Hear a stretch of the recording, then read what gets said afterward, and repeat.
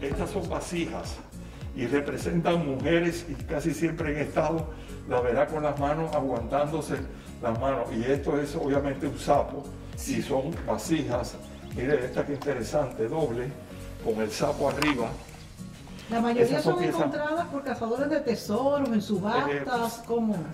Bueno, no, Eh, esta, por ejemplo, según se me ha dicho, eh, casos fortuitos una carabela. de investigadores, eh, arqueólogos que han aparecido.